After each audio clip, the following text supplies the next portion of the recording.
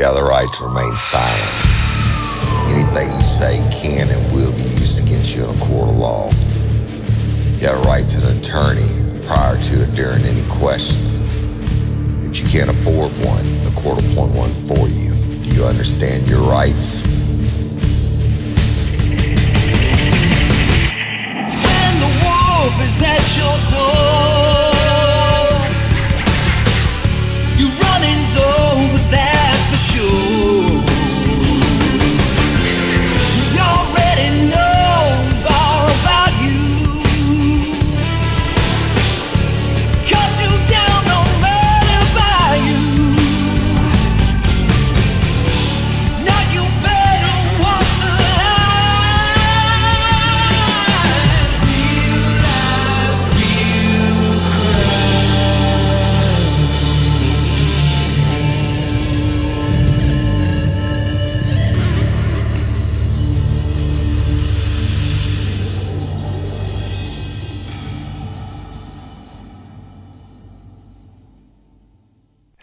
everybody, and welcome to this episode of Real Life, Real Crime, the podcast. And as always, I'm your host, Woody Overton.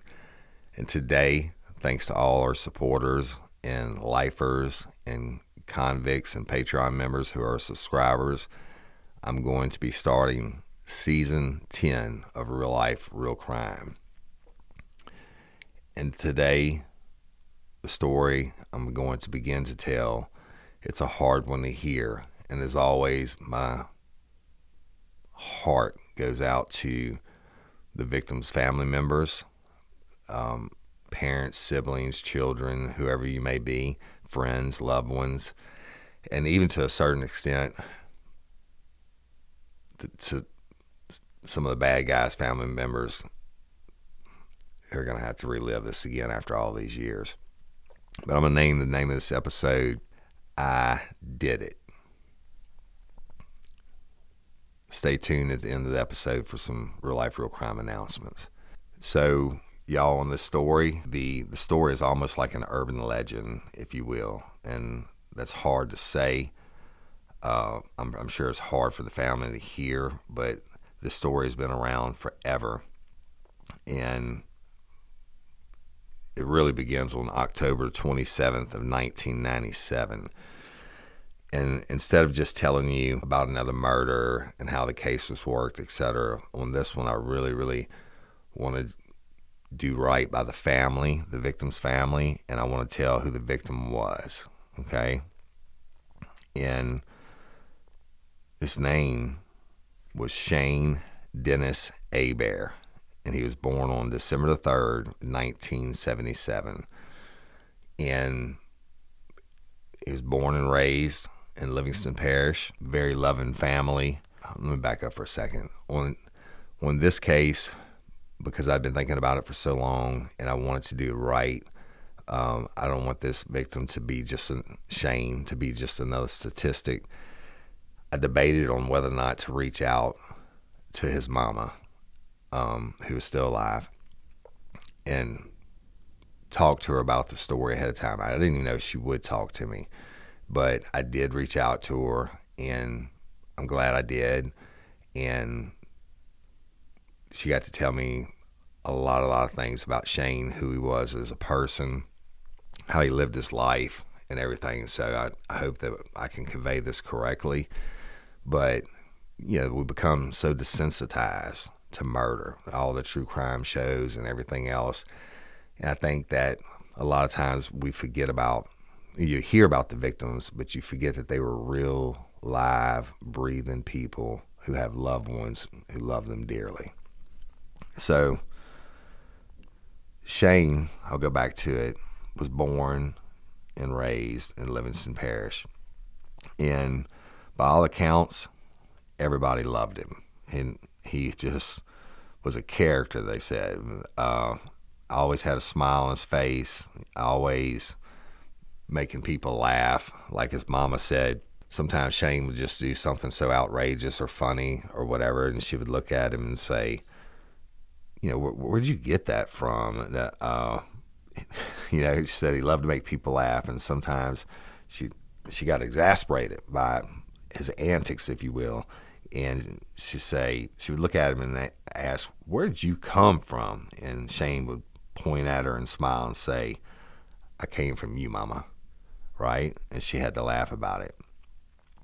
But he said he, had a lot of friends and never met a stranger. Y'all, he loved to hunt and fish like I do. He loved his friends and, and loved hanging out with his friends. Uh, he was growing up. Um, he was a young man and he was married and he had two babies. Um, they were five months old. He had twins. And they said he would carry his twins around under his arm and he called one of them football and one of them six pack because he carried them around on his arms, right? And that he was he was a great daddy. He was a new daddy, but he was a great daddy.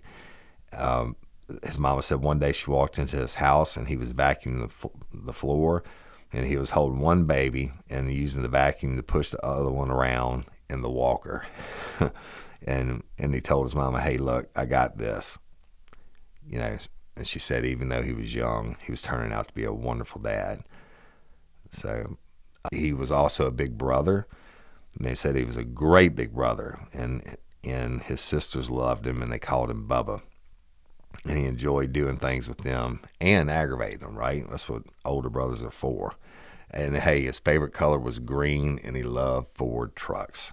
A couple days before uh, Shane was murdered, his mama said that there was another murder, and it was of a, of a juvenile. Y'all, I remember this case and she she asked Shane about it, and she said, "Baby, did you know this this boy who got murdered?" And he said, "No, Mama, I didn't." He said, "But things are crazy now, right?" He said, "People even shoot you up here in Watson for no reason." A couple days later, his words would prove to be true. But on the on that day, October twenty seventh, nineteen ninety seven, he went through his daily routine and he lived a, they like lived on a like I would call a compound. It was the grandmother's home, the mama's home, and then Shane's trailer was there also. But he goes over to eat, and grandmother had cooked, and she cooked pork chops, and which were his favorite. But his mama's pork chops were his favorite. But she also cooked cabbage, and his grandmother's cabbage was his favorite, right? So they said he's, he's a big guy, big boy too, right? And he's eating. And they said he got done eating. And grandmother asked him, said, Shane, um, my pork chop's better than your mama's? And he said he sat back and he thought for a second and he said, No, Grandma, my mama's pork chops is still better than yours. But I promise you this your cabbage is better than hers. Right? And then a few minutes later, he left and he went to his, his residence. When he was in his residence, his wife asked him to go to the store to get some milk or something. I don't remember what she said it was, but the asked him to go to the store, and so he did. He left. He goes to the store, and while he's at the store, one of his friends sees him.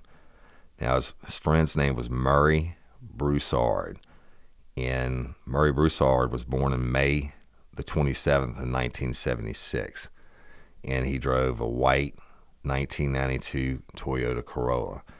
But he sees Shane at the store and approaches him and says, "Hey, you know what? Um, can you take a ride with me to the Watson ballpark?" He said, "I got a deal I got to make." And Shane was like, mm, "You know what? We can do it, but it's got to be quick because I got to get home uh, I'm starting school again tomorrow. So Shane gets in the passenger seat of the Corolla and they go up Highway 16, y'all, and that runs north and south through Livingston Parish. And they're up in Watson. Now, back then, Watson wasn't as commercialized and grown up as it is now. I mean, it was almost nothing. There was no Walmart, no Walgreens, no you know, maybe one fast food place or whatever. But as you go north, uh, out of what they call the, the, town of Watson, it's not really a town. Uh, the there was a ballpark Live Oak Ballpark on the left hand side, but it's north of everything, y'all. It kind of gets dark a little bit. There may have been some residences, but no more businesses. And if you're going north on 16, the ballpark is on your left. And they turn into the ballpark and they see at least one vehicle. And standing outside the vehicle was Matthew J. Street and another guy that Murray didn't know his last name. He just knew him by Avery, A V E R Y. Later on, it would be proven to be Avery Lejeune. Hey, y'all. You've heard me talk about Just Thrive before, but let me tell you about it again. If you want to hear something that's truly gruesome, 9 out of 10 Americans suffer from some type of gut issue gas, bloating, diarrhea, acid reflux, and it's so common, people think it's a normal part of their life. But 80% of your immune system lives in your gut, meaning an unhealthy gut equals weak immunity.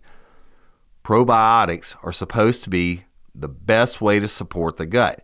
However, research shows 99.9% of the probiotics die in your naturally harsh stomach acid before they get where they're needed. This is what makes Just Thrive probiotics so revolutionary. Proprietary formula is designed by nature to protect itself when conditions get rough. Studies have proven that Just Thrive probiotic arrives 100% alive in your gut, making them uniquely effective for gas, constipation, and bloating, and providing much needed immune support. It's vegan friendly, gluten free, dairy free, histamine free, and non GMO. Safe for just about any age, including moms to be. Endorsed by some of the biggest health luminaries on the planet to give your body the crucial immune and digestive support and feel your best. There's nothing like the award winning Just Thrive probiotic. Y'all, I've been taking it now for about a month and a half, and it really helps with indigestion and, and just makes me feel better overall. So there's nothing like the award winning Just Thrive probiotic. Get 15% off. Go to justthrivehealth.com com and use code RLRC at checkout. That's go to justthrivehealth.com and use code RLRC at checkout to get 15% off. At the same time, they're pulling in the the he sees the vehicle that Avery and Matthew Street are in. It's a maroon color vehicle and it has a like a real dented hood and the hood is tied down to the bumper with a piece of rope. Murray says that Avery walks up to his window and starts talking to him through the window. Now, I'm going to tell you some more of the story around the same time, Deputy Billy Amy, who, you know, I think his, his unit number was like 328, and he was in uniform patrol, had been uh, for a little while, but he was going north on Highway 16 and about to pass the ballpark. Now, this ballpark was really dark back then. You look at it now, it's all lit up. It has a running track and all this stuff. It wasn't like that back then, y'all. And, and that probably until the mid 2000s uh, when they changed that. But it was a known spot for narcotics transactions to go down between the people in Livingston Parish because it's just north enough where really nobody went up there at nighttime. But Billy was patrolling in his marked unit and he's passing the ballpark and he told me, he said, Woody, I looked over and I saw at least three vehicles parked in the back. And he said, I already knew. or I believed it was going to be a dope transaction. He said, so I, he said, I, didn't hit my brakes because I didn't want them to see that I was in a, a marked unit. Now, y'all back then, the only people that were driving Crown Vics, and that's what Billy was in, were the cops. And yes, if you hit the brakes and you happen to be looking up from a dark spot on side road and the cop hits the brakes, you can see that it's a Crown Vic and you can see the lights on the top of the car. But Billy was no rookie hand, if you will. He, he knew if he hit his brake lights, he wouldn't be able to turn around and pull in on them and bust them on a drug deal if, that, if that's what was going down. So he said he let off the gas without hitting his brakes and was getting ready to turn around and go back to the ballpark and pull in on them. They wouldn't have had anywhere to go, right? But at the same time, here's 259 328. That's his number. So he has to answer the radio. So he answers 328, go ahead. They said, we need to get dispatched to a 62A panic alarm on Thunderbird Beach Road. Now, y'all, 62A is a burglar alarm, and we used to get them all the time, especially like in the evening time when people were getting home or kids were getting home from school and they didn't have the code or, or whatever it may be.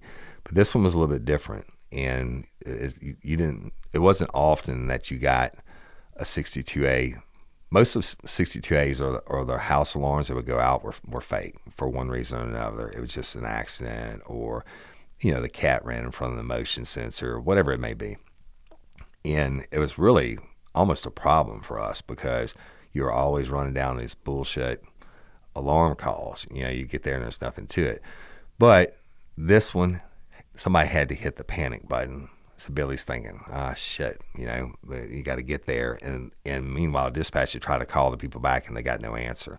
So Billy turns around and he's driving back. And he said, right when he got to the entrance to the ballpark, this white Toyota, Toyota comes slamming up on the road and punches it right in front of him, punches it, heading now south on 16 back from the direction that Billy had originally come from. And Billy was like, what the hell?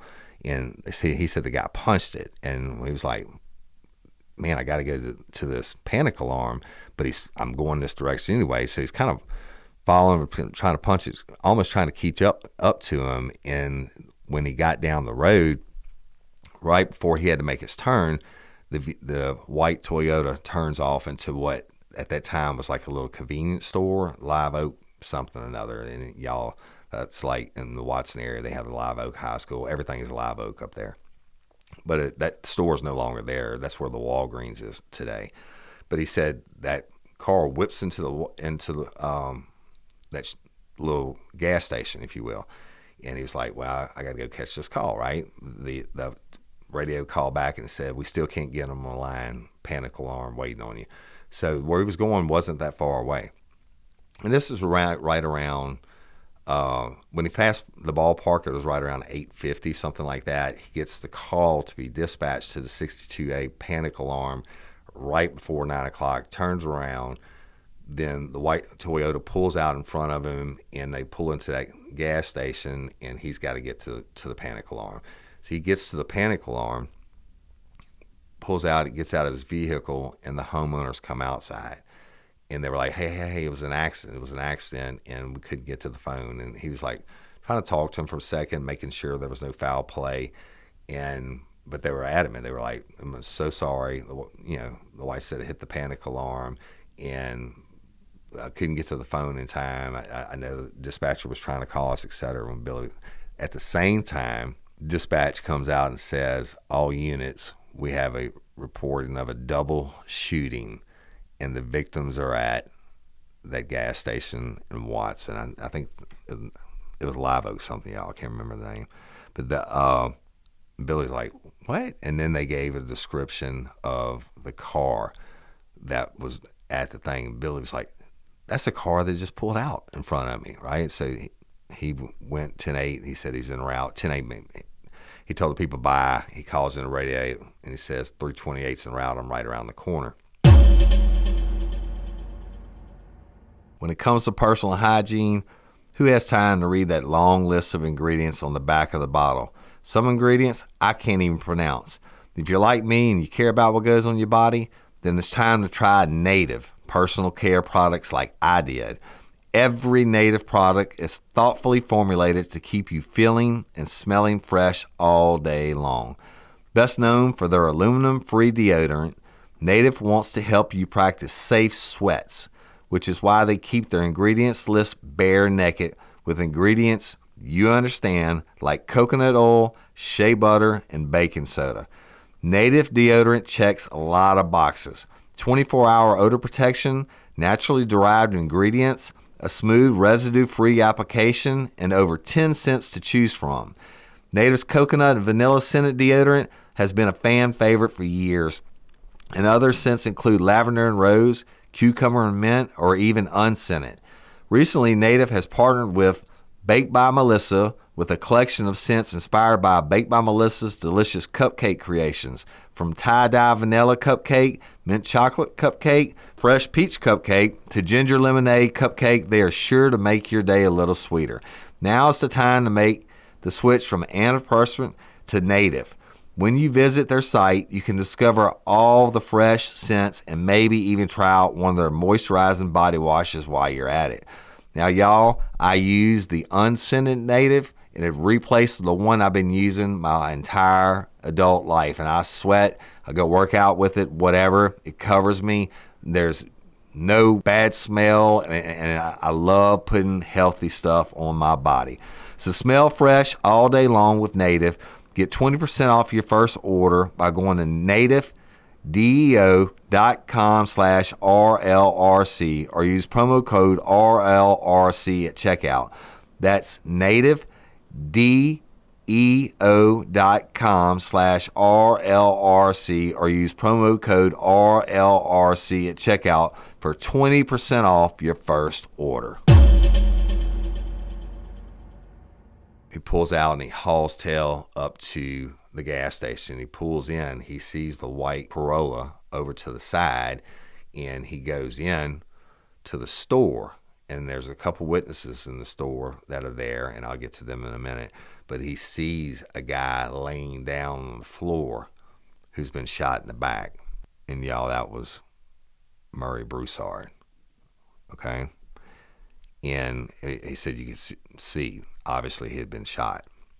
He had blood all over him, but, uh, but it, the he was laying face down, and, and Billy said, "Hey, you know, I'm Deputy Amy," and he's like, "Man, don't worry about me." It, he said, "My friend's in the car. He's dead. He's dead. He's been shot. He's been he's been shot in the head, and medical and all had been uh, route, y'all." Billy goes outside, and the I'll come back and read the report to you in a few minutes. I'm going off of memory. But Billy goes outside and approaches the Corolla, and he can see a large hole in the rear window. And he walks up to the passenger side, and the passenger side window is down about, I'm guessing about maybe a foot, partially rolled down. And he said, Woody, I looked in and I saw a white male in the seat. And he said his head was blown off. He said, actually, he said his head was still smoking. And y'all, I have the, the photographs, etc., and I'll never share them, but I've seen them. And there's no doubt when you look at Shane's turned out to be Shane Hebert when you looked at his head that it was there was no way humanly possible he could be alive. And we'll leave it at that. And so he, Billy said he, he backs out. At that time, Perry Rushing, think his unit number used to be like LP 307, uh, had arrived on scene. Now, let me tell you about Perry. Perry was a very successful businessman, but he loved to do police work, and he did it strictly volunteer. He would come out in his uniform. He's very physically fit, always worked out, always ran a lot. But it, it, he's older than me, you know. I mean, I don't know how old he is now, but back then, I remember, you know, him being like maybe 15, 20 years older than me.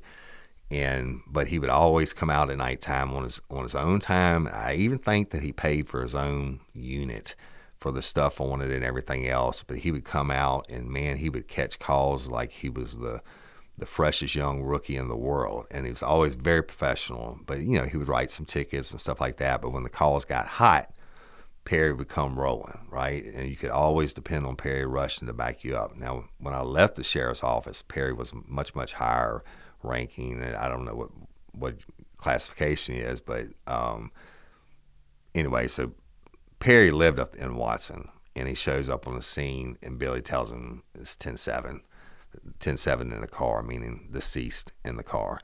So Perry, you you would think a guy in his position and social standing and everything else would be above doing the grunt work, not Perry Rushing. He immediately starts to rope off the gas station with crime scene tape. Um, Billy goes back inside and starts to take statements. The and I'm gonna read these, some of this to y'all. Let me back up for a second, y'all. The so when Billy goes up to the car, he sees the the hole in the rear window. He walks around. He sees the passenger side window partially down. He sees that the white male is obviously deceased, like I told you, with severe, severe head trauma. Still, and it's hard to hear for the family, but the head was still smoking. He walked around the other side of the car, and he was able to see another large uh, obviously a shotgun blast to the rear driver's side window. Okay, but the, he goes back in, and I'm gonna just read you his report about what happened, and I'll tell you about it. So Billy says he was dispatched to Live Oak Village. Y'all, that's the name of the place. I couldn't remember. He was dispatched to Live Oak Village due to a subject that had been shot in the head. Upon arrival, he found one Murray Broussard sitting at a table inside the Live Oak Village. As soon as I, henceforth Billy Amy, made contact with Mr. Broussard, Mr. Broussard advised me that his friend had been shot in the head and was in his white Toyota car, where he then pointed with his hand out into the parking lot. I approached the white Toyota Corolla where I found one white male subject sitting in the passenger seat with his head back and a large hole through the right side of his head with a black powder residue on the right side of the face and the right side of the neck area at 2120 and y'all that's 9:20 p.m. I advised LPSO Communications that the subject I found in the car was dead. I went back into the Live Oak Village to talk to Mr. Broussard while Deputy Perry Rushing, LP 307, was trying to secure the scene. When I went back into Live Oak Village, I noticed that Mr. Broussard had been shot in the back area. Mr. Broussard stated that he and, and Mr. Hebert, y'all, that's Shane, drove up into the Live Oak Park ball area where they approached a Honda Accord, maroon in color, four door, with a bent hood with a rope connecting the hood to the front bumper. Mr. Broussard stated that the car belonged to Matt Street. Mr. Broussard stated that Matt Street and the subject by the first name of Avery, he didn't know the last name, were standing by the car. Mr. Broussard stated he then saw a shotgun and then shots were fired. Mr. Broussard stated that his friend was shot in the head while sitting in the car, and Mr. Broussard stated that he was shot in the back area while trying to drive away. A bolo, that's a be on the lookout for y'all, was immediately put out on the Honda Accord, and the two subjects that were given by Mr. Broussard, Matt Street and Avery, were located in the car. Matt Mr. Broussard stated that he did not know who did the shooting with the shotgun. At 21:38 hours, that's 9:38 p.m., y'all. Mr. Glenn E. Carpenter Jr. identified the subject that was shot in the head inside the car as being Dennis Shane Hebert. This was Mr. Carpenter's nephew. At approximately 22:38 hours, 10:38 p.m., y'all. Pro Tow Wrecker Service towed the victim's car, the 92 Toyota Corolla, license number Delta India Whiskey 719 to Live Oak Auto Center where it was stored. At approximately 2304 hours, that's 1104 y'all, Mel's Wrecker service towed the possible suspect's car, the 89 Honda Accord, license number Foxtrot Oscar Golf 393 to Live Oak Auto Center where it was stored for further investigation. And then you have a couple witness statements of what happened, y'all, that Billy took from the witnesses that were in the store. And I want to read those to you. The first witness was Miss Carla. I mean, you know, I'm not going to say her last name. We'll just call her Carla. And she writes about 9 o'clock and 9.05, Murray Broussard came into the store and told me to call 911. Murray said he and Shane had been shot. Murray said Shane had been shot in the head and he was dead. I called 911 right after Murray told me what happened. Murray said he knew who done it. Murray kept saying he is dead. After I got off the phone with 911, I went to check on Murray. Later, Murray told me Matt and Avery and one other guy shot them at the ballpark. And she stated that Murray had a dark spot on the, on the right side of the back near his spine, which, which looked like a hole.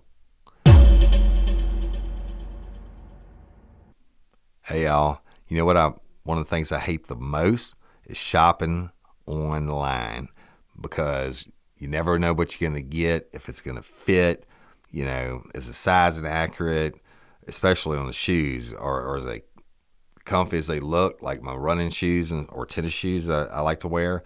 You know, we have to break them in. Is there a restocking fee for returns?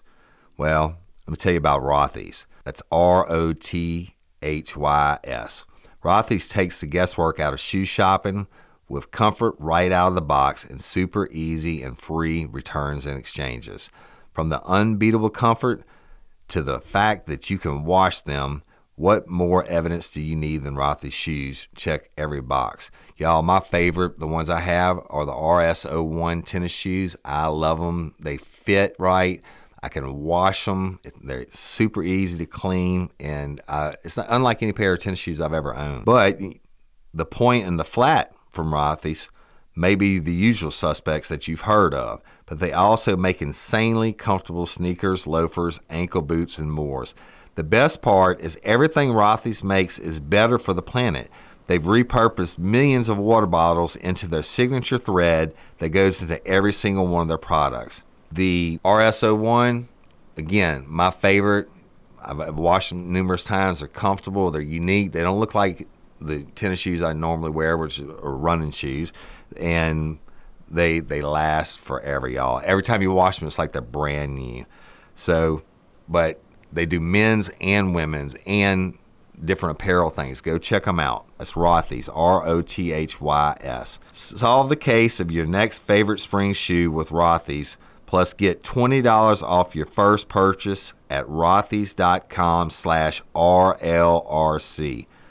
That's $20 off at R-O-T-H-Y-S dot com slash R-L-R-C. Check them out.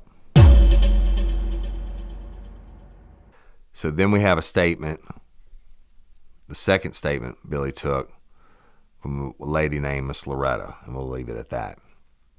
Miss Loretta says, after I got off at work at the pizza place, I went to the store for gas, and while I was in there talking to Carla, a man came in and it was around 9:05 because I clocked out at 8:50 p.m. Carla called him Murray. He was crying and had blood all over his clothes, and there were chunks of what I assume human flesh on his right side of his shirt. He kept saying that his friend had just got his head blown off and he wanted Carla to call the cops.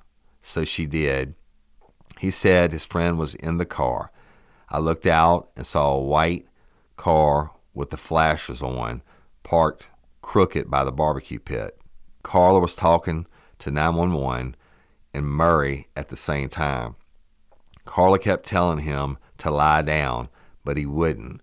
He said a man named Avery and a man named Matt shot his friend named Shane. He wanted to know if he was shot and took off his shirt. And he had a dark spot on the right side of his spine, which looked like a hole. And I told Carla I was going to stay with her and went to the back phone and called Mr. Perry Rushing and explained the best I could. Murray was on a cell phone when I came back up front. Murray was telling someone about him and his friend. Mr. Billy Amy came up to the store and I met him outside, pointed him in the direction of the car, and went back inside. About five minutes later, everyone showed up. A girl came into the store screaming at Murray. All this was over drugs. Murray didn't answer yes or no. He was just crying. The paramedics came in and took Murray out, and the store remained a wreck. The paramedics' statements are pretty much just similar, but I'll read them to you real quick. One is by Todd. I'm not going to say his last name. And he says at 9:15 p.m. tonight, I was dispatched to medical emergency at Live Oak Village. I arrived on scene about 9:18 and proceeded inside to assess the situation. Mike and Perry Rushing were already on the scene, and I asked Mike what happened. Mike informed me that we had one apparent 10-7. That's a dead person, y'all, and one patient with a gunshot wound to the back. During the patient assessment, I discovered what appeared to be shotgun pellet embedded in the outer layer of the clothes of the patient. There didn't appear to be any actual entrance, so the wound was dressed and oxygen was administered. And basically, y'all, when the ambulance got to the scene and began their assessment, I removed the pellet from the outer sweatshirt and gave it to the paramedic who took custody of it in case it was needed at the hospital. Later, when questioned by LP detectives, I informed him of the facts and he requested a statement of the events. And y'all, the other one is just another one uh, about the paramedic that comes in and addresses Murray Broussard's wounds. Now, let's talk about this.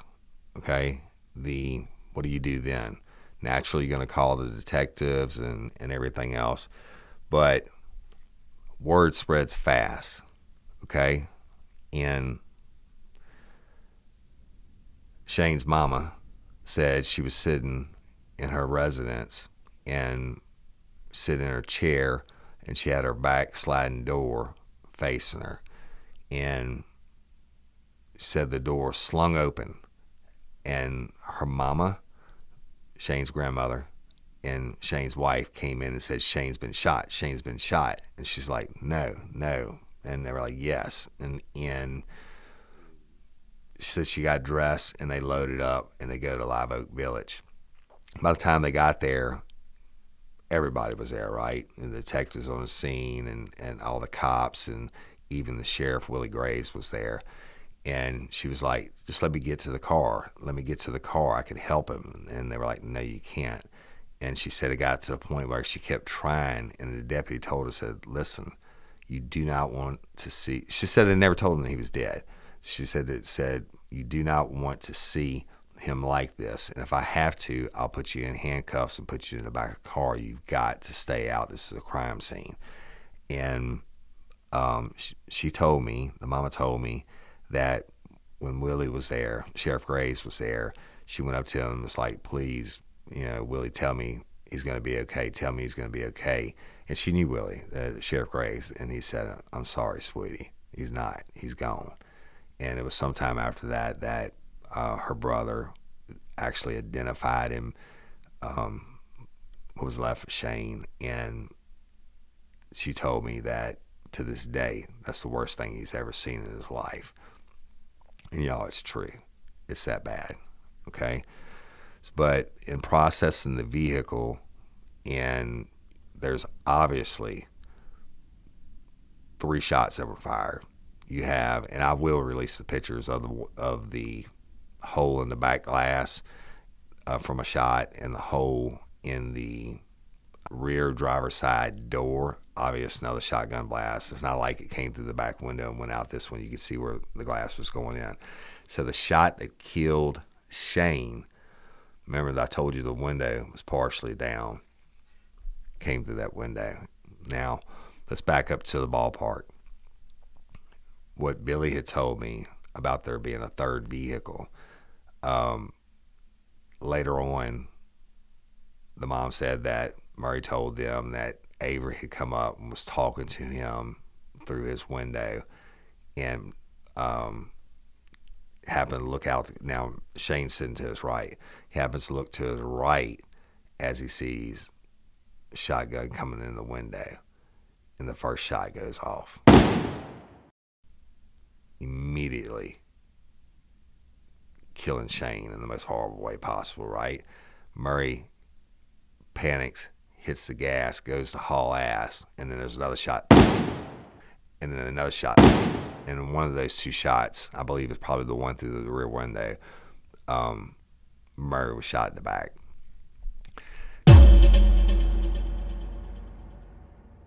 Fortune favors the bold, the strong, the brave.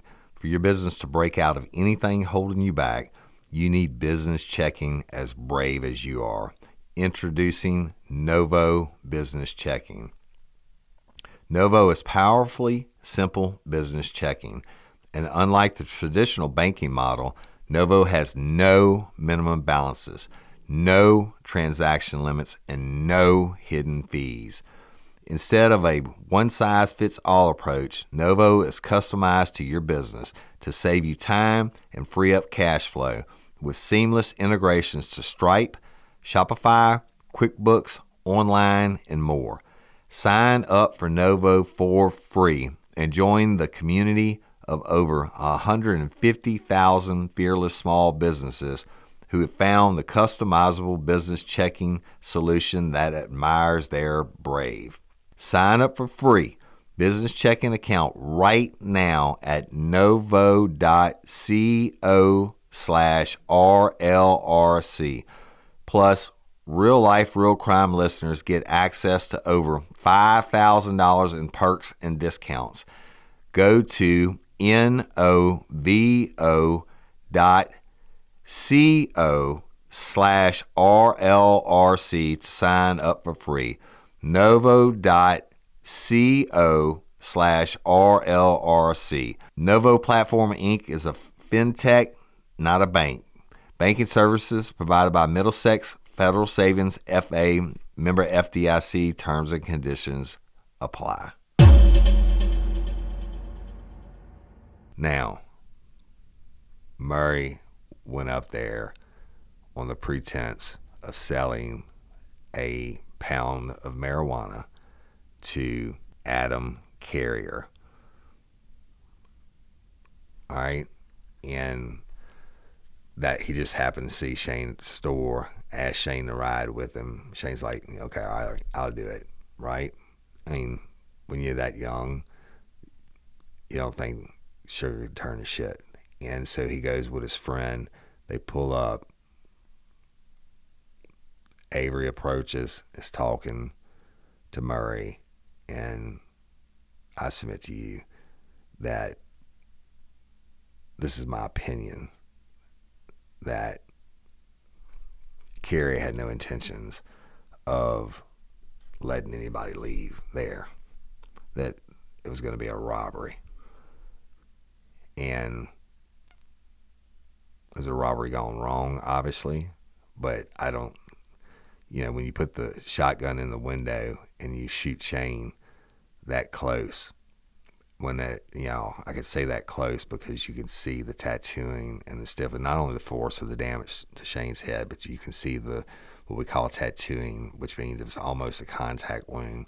When you when you shoot around out of a firearm, whether it's a pistol or shotgun or whatever, you shoot uh, the gunpowder that actually pushes the, the round out, or in this case, the pellets out.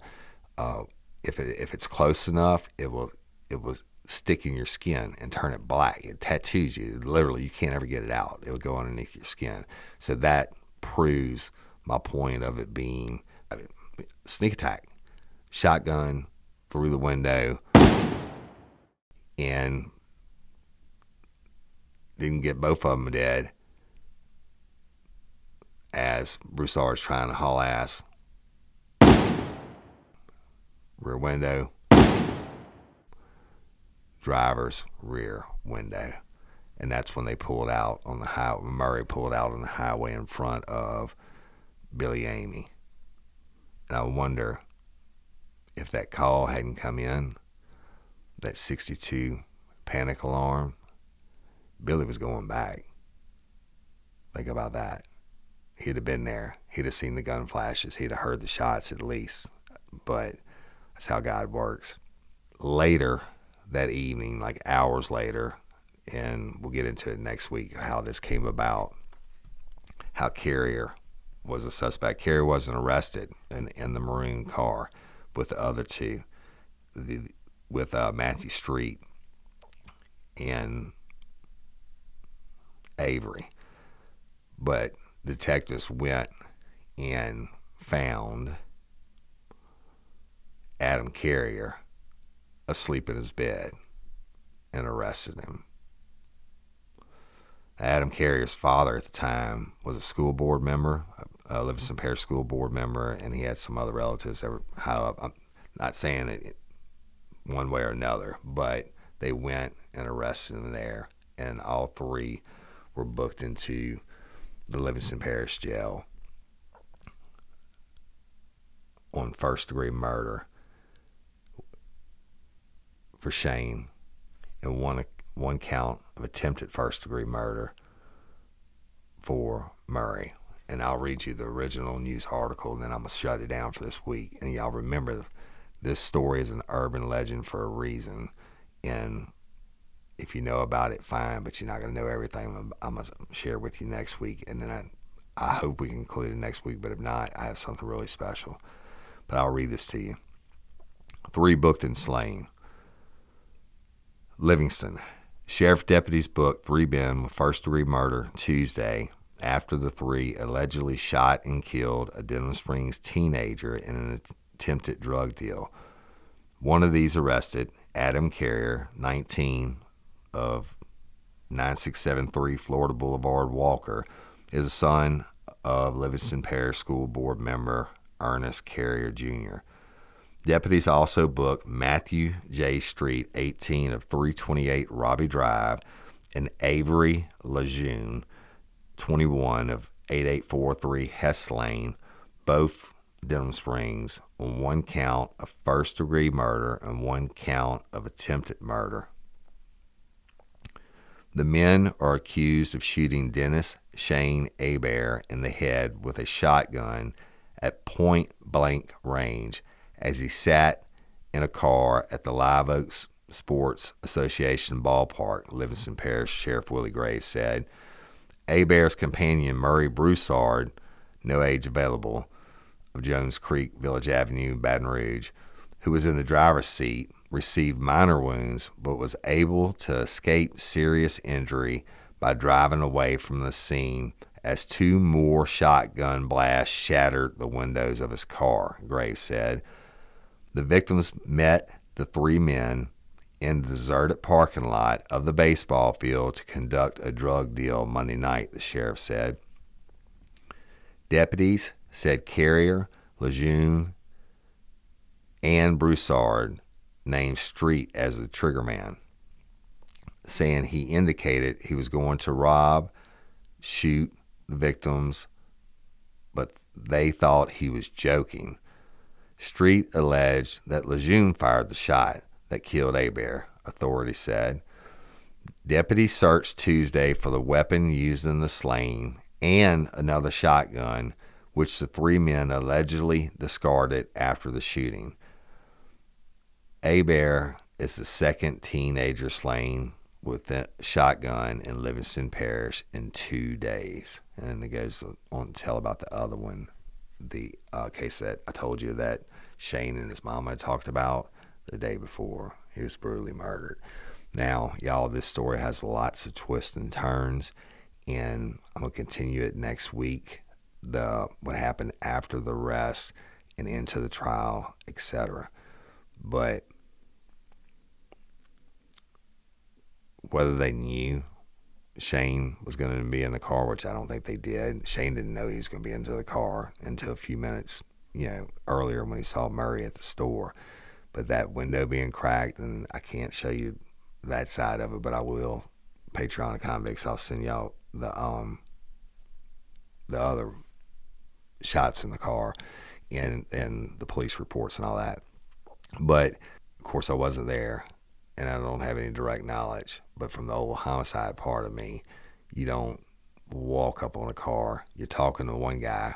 You're supposed to be doing a, a deal for a pound of weed, um, but those three that were there, at least one of them had said, "Hey, I'm going to rob him.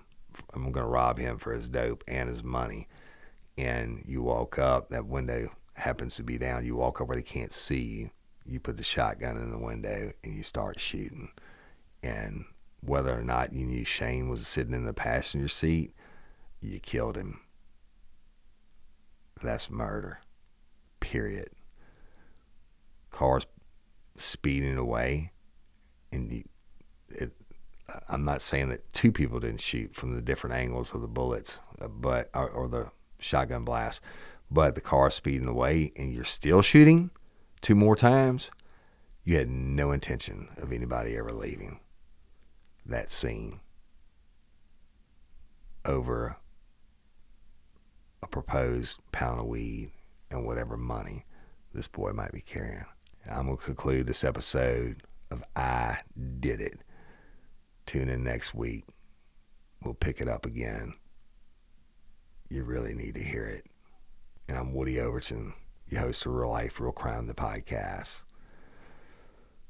Now, for some real life, real crime announcements. By the time y'all heard this or hear this, um, I will have been the Grand Marshal for the crew of Denham Springs Parade. And I want to give a big shout out to the crew of Denham Springs uh, Parade for giving me that honor.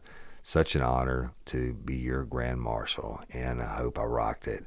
Um, and also, we're having a real life, real crime and friends float that should be in front of me in the parade. I hope y'all enjoyed that and caught some good throws. Throw me something, Mister. Right? That it, when you get this, it should be Mardi Gras Day actually the regular people, and the Patreon and, and convicts, you'll get it early. But the so thank you so much, Crew Denham. Love you. Uh, it was awesome. Chase Tyler, the world famous Chase Tyler band, is actually driving me in the parade, and uh, my good friend Billy Amy is to ride with me. I'm filming myself right now on video, and you'll be able to see it on YouTube. You have to search real life, real crime podcast. Not just real life, real crime, real life, real crime podcast. If you like it, we're doing videos on every one of my episodes now, or you want to just see me tell the story, go check it out. Hit subscribe. You'll get notified anytime we release anything on there.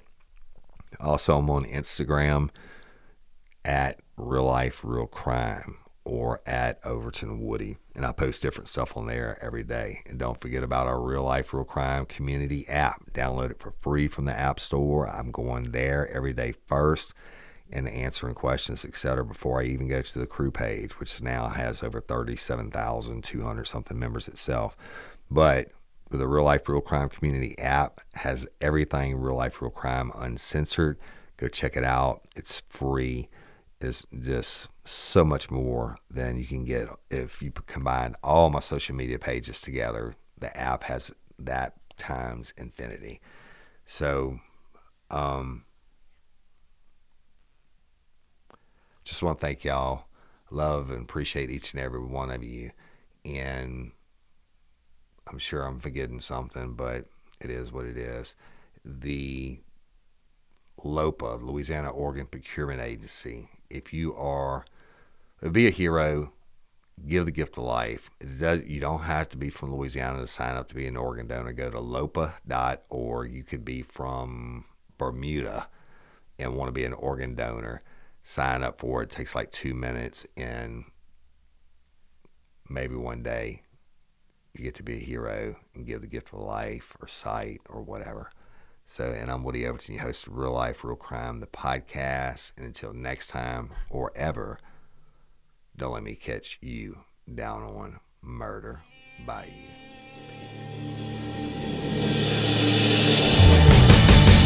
You have the right to remain silent. Anything you say can and will be used against you in a court of law. You have a right to an attorney prior to or during any question. If you can't afford one, the court will appoint one for you. Do you understand your rights?